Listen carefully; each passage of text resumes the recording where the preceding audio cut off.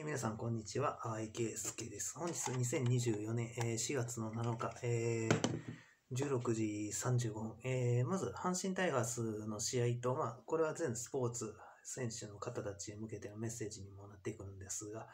えーまず今日の試合内容なんですが、佐伯投手、高めのストレートのボール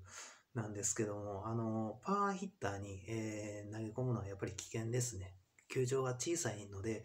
あの、もし低めに投げ込んでいたら、まあ、芯からは少し外れてましたので、ホームランにはなってなかったと思います。外野フライで済んでますね。で、まあ、あとは、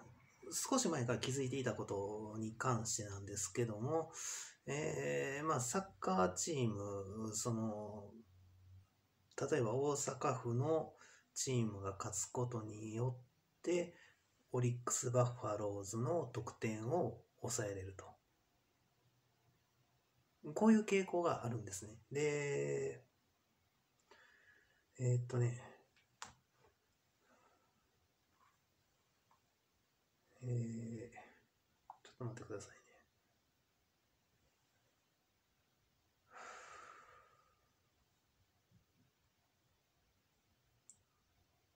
プロ野球の今、スポーツ日程結果っていうところを選んでるんですけども、普通、この3月24日の表記なんか出てこないでしょ。サイバーサイバー攻撃されるんですよ。例えば何か本当のことを伝えたかったりしたときに、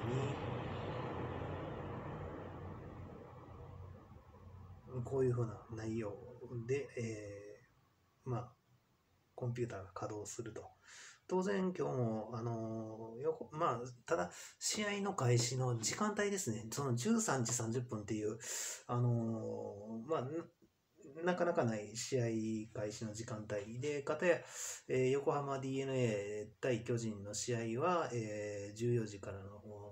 試合時間で、その辺のところで、試合開始の時間がだいぶこちらの方もごちゃごちゃになってた部分あるんですよ。で、サッカーの試合で J1 の今日の日程を見ると、ヴィッセル神戸対、えー神奈川県のサッカーチームの試合しかと、あと J2 の試合かな、その2つしか表記されてなかった。で、えーっとね、まあ今日、まあ心情的に、まああのパ・リーグをなんとかしてほしいっていう部分もあったんですよ。で、うんその、佐伯投手が投げ込んでしまった高めのストレートそのパワーヒッターに対して、そこは、その、なぜしくじってしまってるか、バッテリーがっていうところで、それは試合開始時間が僕の方で、その DNA と巨人の試合が、ちょっとごちゃごちゃになっていたからそうなってる可能性もあるんですよ。基本的に私が軸になってる部分がありますので、あとはまあ言葉の組み上げ等々もあるんですけども、ただまあ物理的な法則で、やっぱりそこに投げ込む時っていうのは、やっぱり例えば、えー小柄で足の速いことを売りにしてる選手だとか、ただあの近本選手もこの間ホームラン打ってますけども、まあそれは変化球なんですよね。変化球の方がボール飛ぶんですよ。特にマシンで捉えた時。で、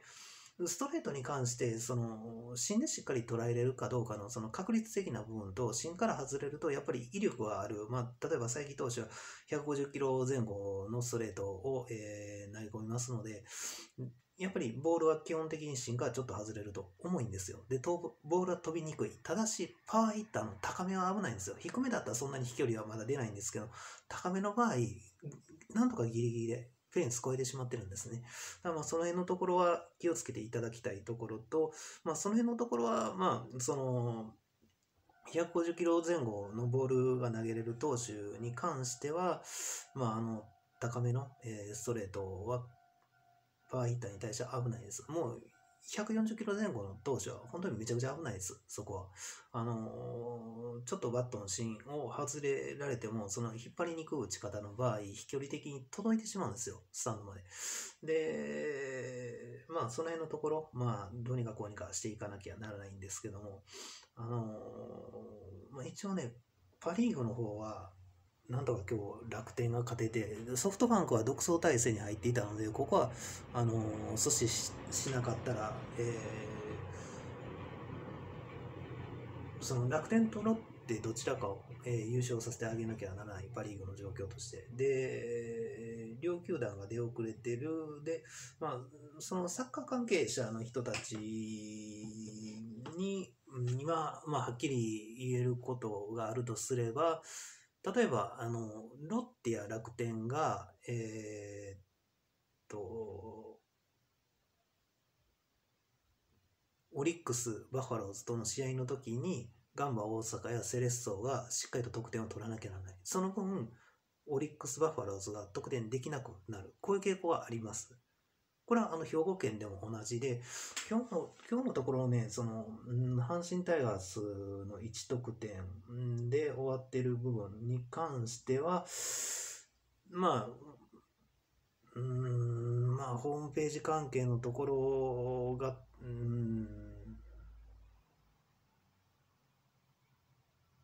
また、今までの傾向として、うん、楽天とロッテ、えー、まあ、まあ、ロッテの方は試合終わってはないんですけど、8回裏まで来てもう5対2ですから、えー、ほぼほぼね、えー、まずロッテが勝つとは思います。で、サッカー界の方のデータ、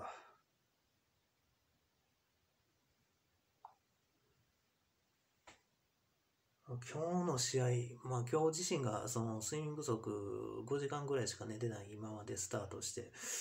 まあ、なかなか、えー、頭の中渡す時もね、その脳梗塞のようなパターンの方の状態だったので、かなりきつかったですね、それは。で、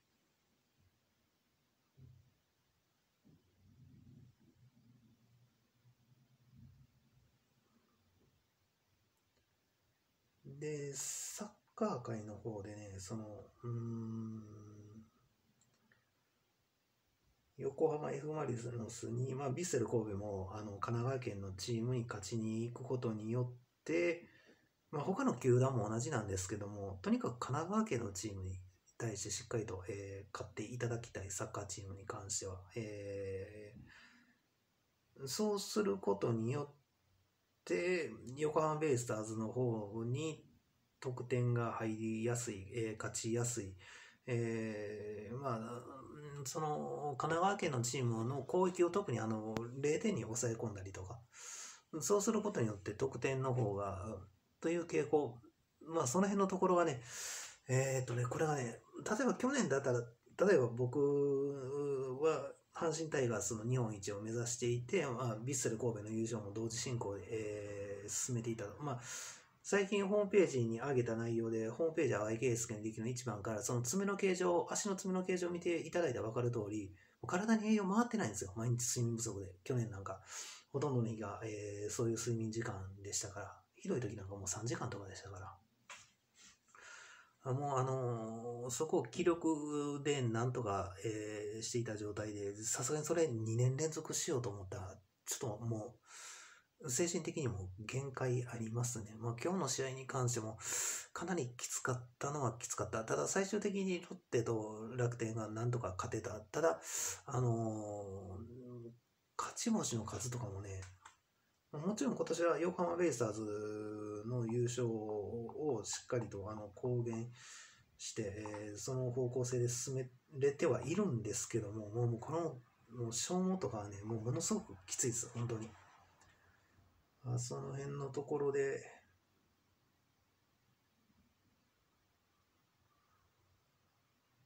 えー、っとね、ちょっと待ってくださいね。今も自分が何したらいいのかもう分かんなくなってきてるんで、ちょっと待ってください。今頭の中がまだどっかに行ってる。まあ、その、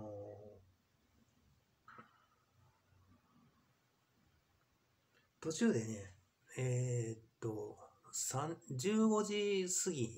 15時過ぎぐらいかな、春山整骨院に車が来たんですけども、競馬会か競馬の勝ち負けで誰か来てません。車で来た人。で、それは、報道機関が先読みしていて、NHK で今日は阪神タイガースの試合があって、その時間帯、報道を流してるんですよ。で、報道が流れた瞬間、いつものパターンなんですけども、報道番組見てるとき、春山整骨院の連中は帰っていくんですよ。そこに集まってくる人間ね。もうこれだけで怪しい、本当に。で、今、バスケットボールとかでもインターネットで、あのー、博打があるでしょう。かけること、お金の。あれもおかしい。あの、ああの業界混ぜ込んだところみんなおかしいことになるから、本当に。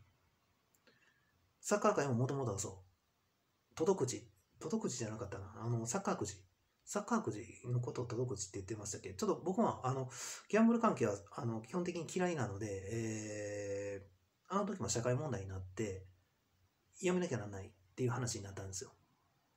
で、えー、僕はじゃないですよ。そのサッカー界が。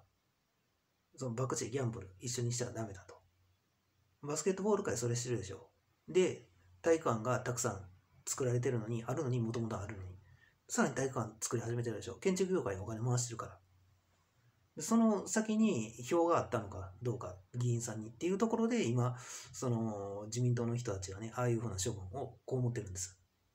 はっきりしたこと言わないですよ、テレビのニュース。何十人と。もうできたかできなかったか、だから、それは自民党として最大与党として公明党さんと連日組んでって、安倍政権のパターンでってそ、そこまで全部組んできたんだから、そこは自民党の皆さんに阻止してもらわなかったらダメ。そこは、あの、他のと立憲民主党の人たちとかも協力して、あの、絶対、あの、建物の建築っていうのは阻止しなきゃならない。ここはもう、日本国内ですか違い法権。もういろんな法律ももちろんありますよ。あの対比するような内容で言ってこられるときはありますけども、エネルギーの残存量もね、これ国連の最重要課題です。10年以上前か、もう同じ。少なくとも僕は二十歳の頃からずっとそれですから、本当は。逆の言い方する連中は多すぎるんです。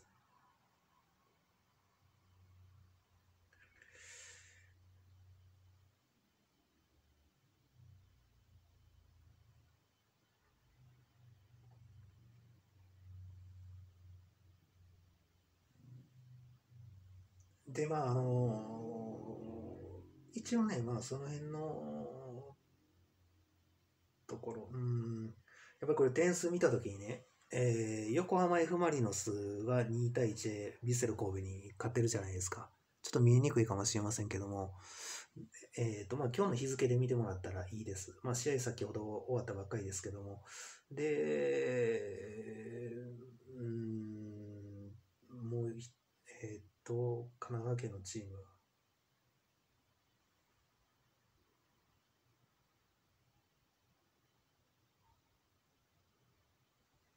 うん。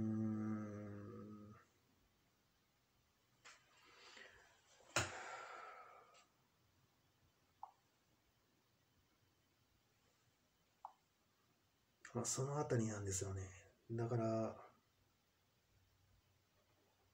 データ的に誰がどういうふうに加わって操作をしているかっていうところもあるんです。もちろん現場の選手の皆さんがあの経営で頑張ってもらわなきゃならないんですけども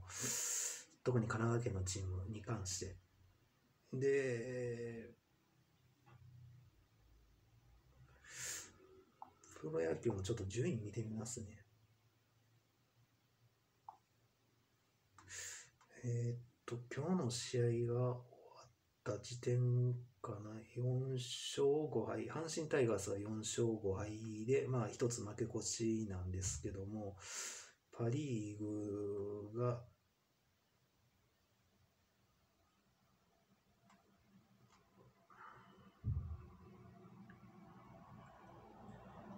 負けの数がね、ロッテと楽天も5敗ずつで似てるんですよ。で、勝利数は3と2で、えー、4位、4位と6位、えー、っとね、雨で、えー、流れた試合とかもありますから、今日の試合が楽天は組み込まれているのかな、どうかなというところと、ロッテはまだ試合中だから、まだ組み込まれていないっていうところですね。で、まあ、ソフトバンクに関しては、もともと、うん、昔からの話行くと、ダイヤホークスの時代があったんですよ。で、ダイヤホークスの頃は弱かったんです。あの、なかなか優勝がなくて。で、そこで、えー、まあ、優勝させてあげなければならない話、うんぬんがあって、そこからソフトバンクが、まあ、あの、だいぶ優勝するようになってしまったといった方が、あの、言い方がいいかもしれないですね。なかなかソフトバンクを、あの、B クラス行きに持っていくのが、えー、毎年感じるんですよ。難しいと。去年も、去年の順位は何位でしたっけ？かなり難しかったですね。だからあの、同時進行でね、その試合の勝ち負けのところまで対応してる部分、やっぱりちょっとこちらの負担がどうしても大きい。で、うんまあ、阪神タイガースが今日得点、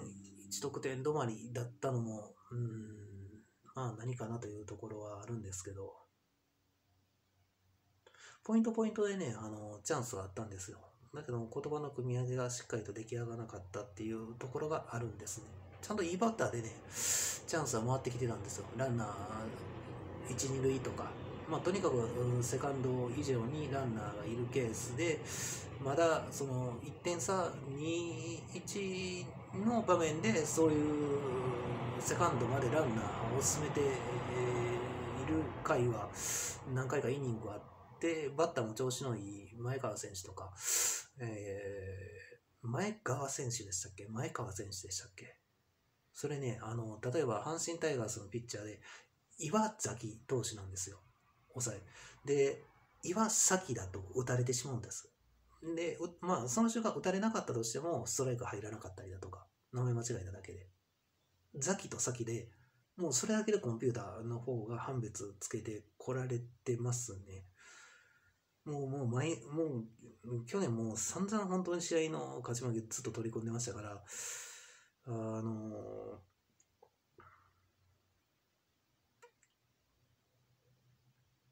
でもそういう意味ではね、その、うん、オリックス・バファローズがロッテや楽天と試合してるときはガンバ大阪とセレッソ大阪が頑張らなきゃならないんですよ。そうすると、ロッテと楽天はオリックス・バファローズに勝ち越せるんですよ。ちゃんとそこは勝ってくれたら。ただ、これを言うことによって、その、うん、見破りを使ってくる人間が現れた時に、どう物事が変化していくのかというところもあるんですよ。私の方はそこは見破っていったから、もともとその兵庫県云々の話。だからそこを優勝回数とかいろんな理由をつけることによってルール、法律で。で、えー、結局、あの、まあ、結果的に、えー、ヴィッセル神戸も阪神タイガースも日本一になってると。だからそこを最初はどう突破するのかがすごく課題だったんですけど、だも試合数はもうめちゃくちゃ多いんで、あとは、うん、プロで言うと、だからバスケットボール界とかの影響とかもどれぐらいあるのか、ラグビー界も本当はそうなのかとか、影響あるのかどうかとかも、事細かに見ていったら本当にもう、試合中にそれを見破らなかっければならないような、試合前から、まあ、見破っていればいいっていう部分はあるんですけども、それはね、もうデータ量が膨大すぎて、もう、他にも政治経済も同時進行ですから、もう本当に大変ですね。まあ、ちょっと話戻しますけど、全体的な話になってましたけど、まあまあ、あの、阪神タイガースのピッチャーの人もそうなんですけども、あの、まあ、神宮球場はまだホームランが入りやすい球場なんです。で、あとは東京ドーム、えー、無風。ただ、無風ではあれ、京セラドームに関しては大阪のドーム球場ですけども、あと名古屋のドーム球場は広かったと思うんですよ。京セラドームは間違いなく広いです。で、名古屋のドーム球場はどれぐらいの大きさとフェンスの高さだったか、ちょっとね、はっきり覚えてないんですけども、あとはソフトバンクの、あの、福岡ドームに関しては、まあ、その、ラッキーゾーンみたいな形で客席増やしましたから、本来、あの、フライとかで終わってる打球とかもホームランになってしまうんですよね。だからあのその辺のところの性質の違いっていうのをはっきりと分かっている中でその日本代表っていう選手を最終的に選考しなければならないんですよ。数字的なホームランの数を見てるだけじゃそれしっかりとした内容じゃないんですよ実は。ホームランを打ちやすい球場で半分の試合を行っている球団の方がやっぱりホームランの数多くなりますから他の球場だったらフライで終わってますから。だかね、あのー、まあ、投げ方として、うん、まあ、150キロ前後の球速をコンスタントに出せる投手であったとしても、パワーヒッターに、あの、まあ、今日ホームラン打たれたら、外国人選手のオスナ選手だったと思うんですけども、あの、引っ張りにいってるバッティングでしょ。だから芯を多少外していてもね、振り切られて、その、ある程度、やや前のところでも捉えてる部分もあるから、そのタイミング的にですよ。だから、なんとかフェンスオーバーまで持っていかれてしまうんですよね。これが、例えば、まあ、中野選手や近本選手、じゃあそれは絶対に不可能になってくるんですよ。それはもう、体の搭載している筋力量によって、それはもう、ある程度のライナーになったとしても、もうまあ、左打者の人ですけども、まあ、例えると、ライト、真正面だとか、そういう形までの飛距離で終わってしまうんですよ。まあ、まあその辺のところは選手のその体の大きさとか筋力の搭載量によって打ち方の性質とか変わってくるんですけども、だからその辺のところで、まあそれをピッチャーやキャッチャーの人たちに早く私の方がが伝えてあげていれば、今日の結果はまた違っていたのかなとかも思ったりもしますね。どちらでその天秤が、その試合の天秤が傾くのかっていう部分も、やっぱり試合の流れとかで、まあ私は感じますね。まあ、神一重の部分っていうところは、うん、常に、こう、試合を行っていて、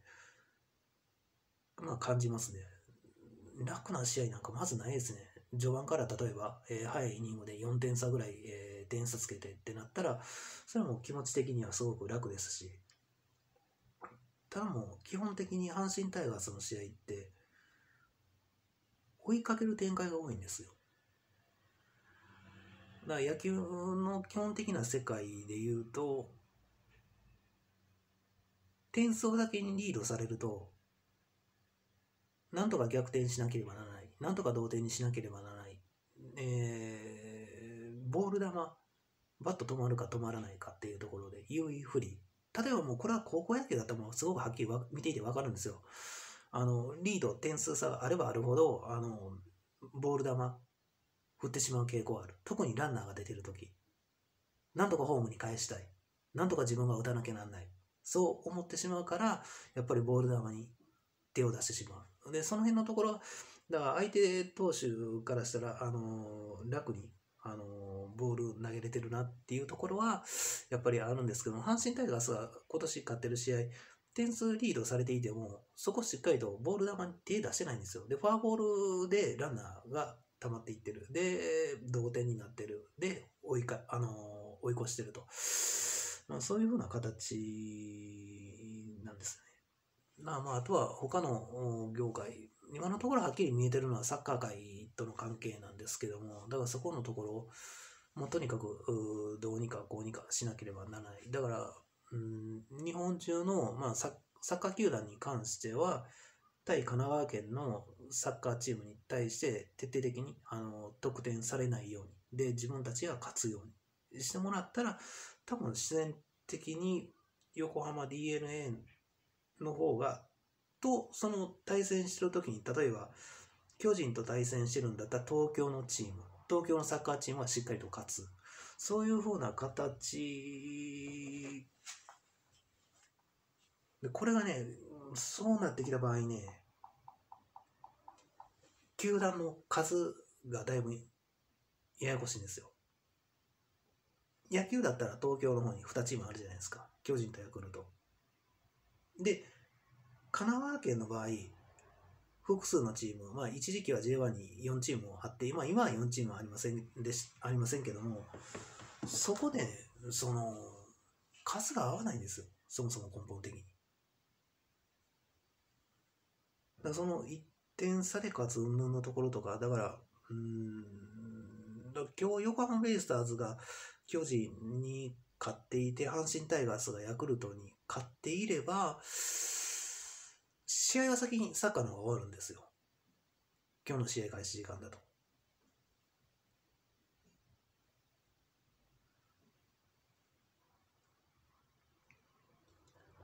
だそういう意味でも、だからエネルギーの残存の問題と常にあの内容をくっつけられてる部分もある。で、それはもう26年前から指摘していることであって、神戸市立ホテルフルーツランバークで。で、それはもう各業界の人たちは聞いています。エネルギーの残存の問題とワンセットで。で、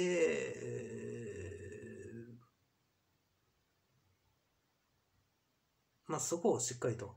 あの、全体的に解消しなければならないということですね。あとはパソコン関係の、動画のアップロードとか、あのスポーツの勝ち負けしてる時ってパソコンの起動が極端に遅くなるんですよ。で、テレビ一回つけると。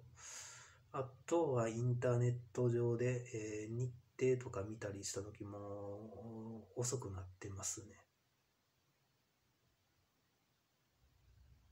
だ何かこう、ホームページは IK スケの履歴とか YouTube に動画をアップロードすることによって点数が入ったりしてる部分はあります。それはまあ皆さんご存知だと思うんですよ。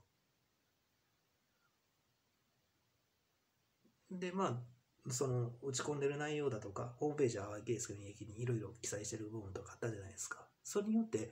例えばもう野球の試合が終わった時点の内容のものとかが、海外の、例えば、えーサッカー界の人間が、日本人が、えーシュート得点したりだとか、メジャーリーグも同じような形。あ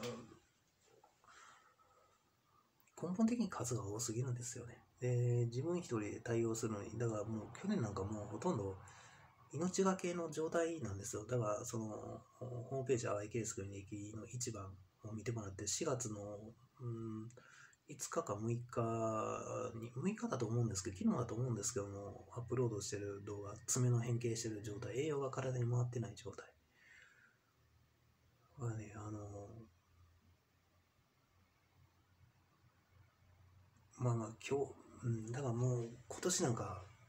まあ、そのメジャーリーグで特別、おその大谷翔平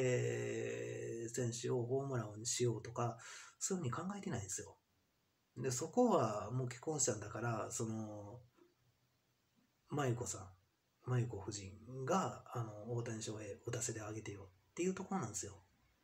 逆に、その、前、もうカメラではっきり見たら分かりますけども、翔平の方が顔を捉えていて、で、まゆこさんの方が顔綺麗になってるでしょ。だからその辺のところが、ちゃんと頭の中渡したりとかしてるのかなっていうのはありますね、翔平に。で、まあ、根本的に野球のことが分かってる分かってないのところはあると思うんですよ。その辺のところ、うん、例えば田中将大選手とかだったら楽天の優勝東日本大震災の後後だったから、まあまあ、星野監督も命がけで取り組んでくれてましたし、まあ私の方も、あのー対応してた部分もあって、メジャーリーグ行ってからも、あの時も田中将大のその試合に合わせて私も行動してましたから、なうんその連勝記録、日本から続いているその無敗の記録。あれ数字いくつまで伸びましたっけ？日本では24勝0敗だったでしょ、楽天が優勝した時、田中将大投手。で、アメリカ行った時に31勝まで伸ばしたんでしたっけ？合算した時に。そしたら、あの、ミスタータイガース、掛布さんの背番号31番。松井秀喜さんも、アメリカで一番ホームランを打った時31本。で、兵庫県出身の、えー読売ジャイアンツのもともとショートだった坂本選手。もう31歳で2000本安打を打つ方がいいと。で、兵庫県出身の人だから阪神に来て来てよっていう話でもともと作ってたんですよ。あのーショート守ってる人はサードでも守れますから、なんか鳥谷選手がいて、サードがね、あのー、坂本選手、まあ、逆でも別に全然良かったんですよ。2000本安打、31歳で打ってくれる人と、まあ、30何歳で、まあ、鳥谷選手も2000本安打達成してるんですけども、数字見たらもう分かってくるんですよ。あとはフォアボールしっかりと選んでいたらどうなるか。得点絶対できるんですよ。まあ、田中将大選手も、まあ、もともとはね、あの、兵庫県出身の人なんですよ。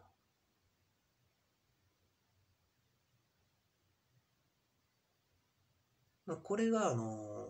野球界のその神戸市立ホテルフルーツパークの1997年、8年あたりからその辺のところがしっかりと社会に明るみになってきて、一部の人たちにですよ。で、僕は生まれてくる前の頃っていうのが巨人ばっかりが優勝していた。他の球団のそのセ・リーグの優勝回数とか戦後の優勝回数見てびっくりしますよ。1回とか2回とか3回優勝してるところなかなかなかったんですよ、セ・リーグで。びっくりしますよ。本当に読売ジャイアンツばっかりで。もともと1985年阪神タイガースが優勝したのも心当たり私にありましたし、だからその当時自分がどういうふうに関わってたかなんか全然分かってませんでしたし。